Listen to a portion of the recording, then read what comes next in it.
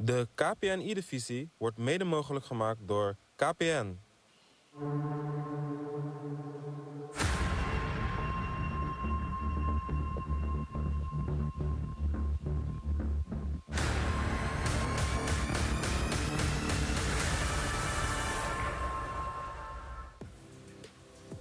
Yes, dames en heren, jongens en meisjes, welkom bij de KPI-divisie Goal Show van de playoffs. Dat is uh, ja, het laatste moment dat nog één ploeg zich kan vestigen bij de ja, andere zeven finalisten. Dus uh, uiteindelijk hebben we straks een achtste finalist en uh, die gaan tegen elkaar strijden in Utrecht in de jaarbeurs op 6 mei in Utrecht. Ja, hoe, hoe mooi wil het hebben? Ja, zeker weten. Gewoon acht ploegen die ja, vechten om het laatste bot, om het zo maar te zeggen. En, Klopt. Uh, het wordt heel interessant, kan ik je vertellen. Ja, we gaan uh, naar de eerste kwartfinale die vanavond werd gespeeld. Dat was, als het goed is, AZ tegen NEC. En AZ is toch wel ja, Inta, de, de grote favoriet om deze play-offs te winnen met uh, niemand minder dan Mark de Greenhopper en Emre. Ja, vooral Emre, jongens. Dat is uh, ja, toch wel een van de beste spelers misschien op dit moment in Nederland. Maar goed, hij komt 1-0 voor. De Greenhopper maakt NEC hier 1-1. Joris, of Morris, sorry, heel onverwachts.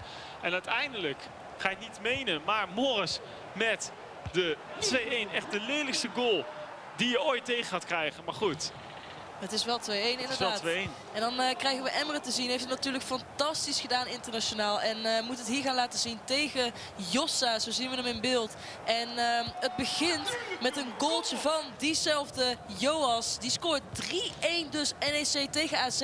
En dan is, het, ja, dan is het aanpoten voor Emre. Dan staat hij gewoon met twee goals achter. En het wordt nog erger voor hem. Het wordt namelijk 4-1. En dan wordt het een hele moeilijke zaak voor Emre. Krijgt hij nog wel een penalty? En uh, benut hem uitstekend. Het maakt er toch uh, 4-2 van. Maar uh, ja, het, is toch Joas die de overhand had in deze wedstrijd. Speelt het fantastisch uit. Hoe Ronaldo hier ook de bal weer uh, meeneemt. Bal komt achter hem. Weet hem fantastisch af te maken. 5-2. En dan is het, ja, zou je zeggen onmogelijk voor de meeste spelers. Maar het blijft wel Emre Yilmaz. En ehm, hij weet hier ook zijn doelpuntje weer mee te pikken. 5-3. En dan ehm, door een foutje van diezelfde Joas wordt het zelfs nog 5-4. Wordt het spannend. En um, is het zaak aan Joas om de rust te bewaren. En of hij die rust bewaart. Kijk hier met Gullit. Speelt hem door. En uh, wordt keurig afgemaakt. Dan is het weer 6-4. En uh, ja, is, wordt het toch wel heel erg lastig. Het kan nog spannend worden. En ik kan je vertellen, het wordt ook nog spannend. Het wordt nog 6-5. Mbappé, doelpuntje van Emre. Maar het was niet genoeg. NEC dus door naar de volgende ronde van de play-offs. En AZ, favoriet misschien wel, uitschakeld. Ja, heb je inderdaad heel mooi gezegd. NEC is inderdaad door. Dus naar de halve finale. Die ga je straks nog in actie zien. En AZ, heel teleurstellend seizoen, uitgeschakeld in uh, de E-divisie. Dan gaan we door naar de andere kwartfinale. Emmen tegen Sparta Rotterdam. Dat is uh, onze tweede kwartfinale.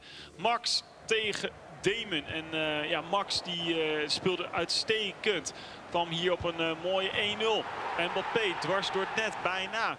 Maar uh, Max uh, die zat er lekker in. Hier komt dan ook de 2-0. Weer een heel vies paasje. En dat ga je vaker van hem vandaag zien. Legt hem goed af. En uiteindelijk uh, wordt het dus 2-0. En dan is dit een opvallend moment. Ja, Thomas, wat doet hij hier eigenlijk? Doet een soort buitenspelval. Wordt benut door Leroy. En ja, ja, en zeker uh, bij dit. Je ziet het al. Aanval van Emmen. En uh, Thomas is heel rechts onder in beeld. Is, is weg. Uh, weg. Hij is verdwenen. En ja, dan is het niet zo moeilijk meer om te scoren. Wordt het dus 4-0 voor FC Emmen tegen Sparta. Ligt Sparta er helaas uit. Um, de emoties liepen hoog op. En Emmen ging er met de buit van deze wedstrijd vandoor. Ja, Emmen die wint dus 4-0.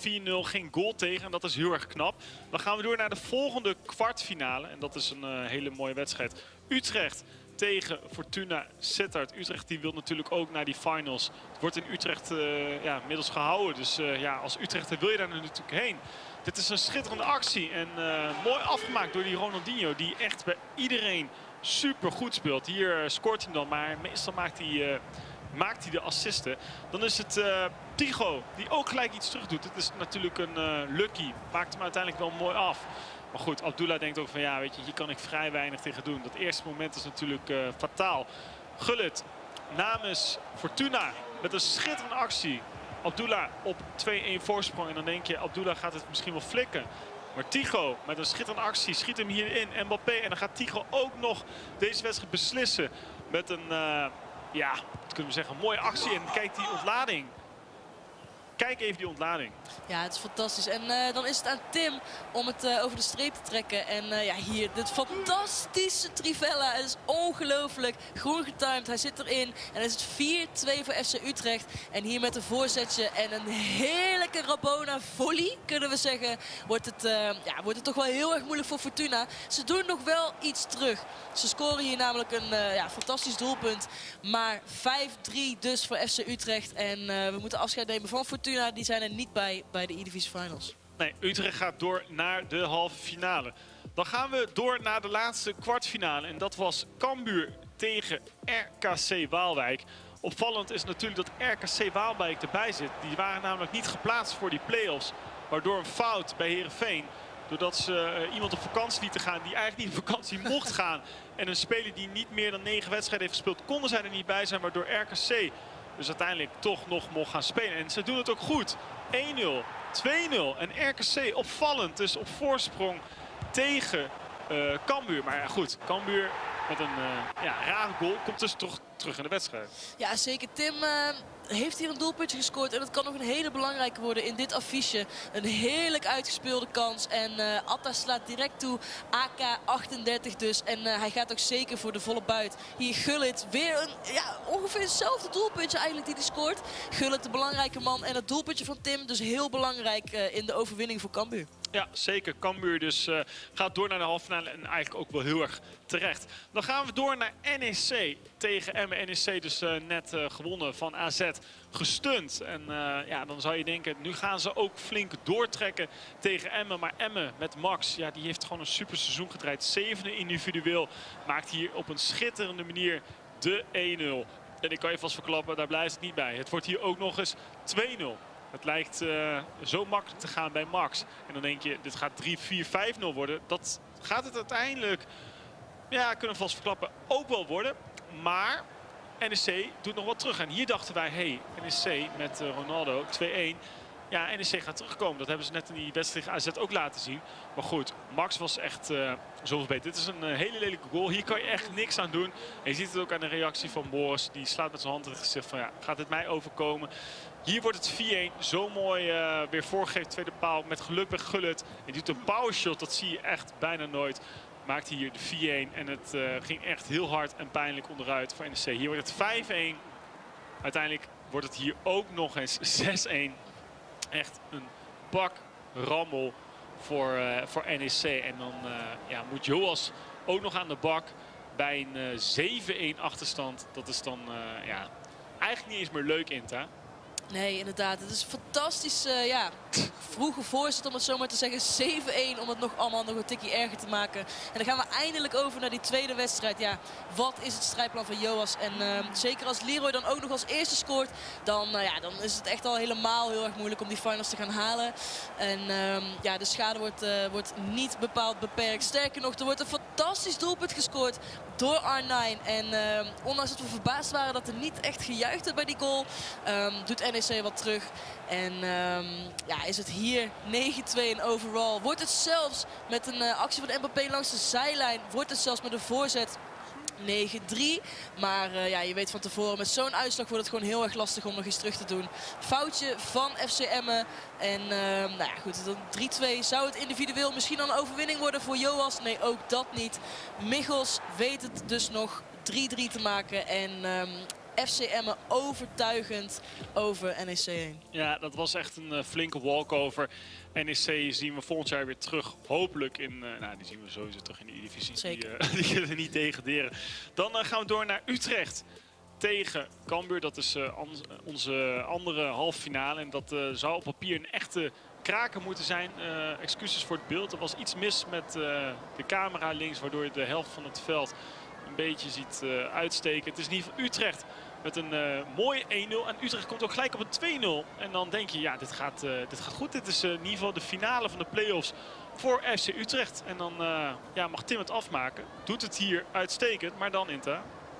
Ja, Het, uh, het, werd nog spannend. Sterker nog, hier een heel raar moment waardoor Atta die kans krijgt. En uh, die kans moet je hem niet geven in de 16. Maar het is bizar hoe die goal inderdaad tot stand komt. Het is inderdaad, zoals je het mooi zegt, een scheidgoal. En um, ja, er komt ook nog een, een 3-2 zelfs. Het, uh, de aansluitingstreffer is er. En je ziet Tim's reactie van, ja, wat moet ik in godsnaam doen? Maar Tim kwam onder druk te staan. En als iemand het fantastisch uit kan spelen, dan is het Tim wel. 1 op 1 op de keeper, blijft heel rustig. L1, balrol of bal to heel. Heel to geen idee. Een van die twee. Uh, ja, precies, maakt niet uit. Hij speelt het fantastisch uit. En uh, hij maakt het zelfs met een fantastisch doelpunt ook nog 5-2 in overall. En dan is het FC Utrecht die als eerste naar de finale gaat van de play-offs. En uh, Cambuur moeten we helaas afscheid van nemen. Ja, dan is de finale uh, FC Emmen tegen Utrecht. En dat is uh, de grote finale. Een van die twee ploegen gaat dus naar de finals in Utrecht. Ja, hoe mooi zou het zijn voor FC Utrecht als ze dat flikken. Maar goed, FC Emmen het hele seizoen top gedraaid. Max zevende nogmaals in de individuele ranglijst. En komt hier op uh, 1-0 in de vierde minuut al. Zo terecht voor deze jongen als hij daar zou zijn. Heeft het uh, super gedaan. Hij verdient een plekje in die finals. Maar goed, Utrecht met Tigo. Ze spelen heel vaak tegen elkaar. Dat hebben ze al gezegd. Hij met een schitterende 1-1. En daar blijft het niet bij. Tigo drukt door. Max begon goed, maar was helemaal van het padje naar deze goal. 2-1 voor Utrecht. Maar daarna, ja, dat, dat zal je dan weer zien. Uh, is Max in één keer weer de sterkere. Geeft hem hier, zoals hij vaker doet, op Gullit. En Mbappé legt hem er schitterend in. En het is 2-2. Uh, maar daar eindigen we niet mee. Er wordt nog één keer gescoord. Het is uh, Max die hier schitterend de bal teruglegt op Slatan. En de 3-2 erin knalt.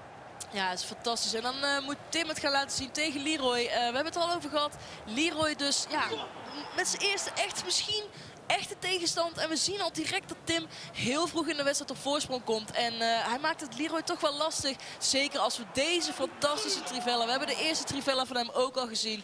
Deze scoort. En het is FC Utrecht die naar de KPN E-Divisie Finals gaat. In Jaarbeurs Utrecht, 6 mei. En ja, verdiend.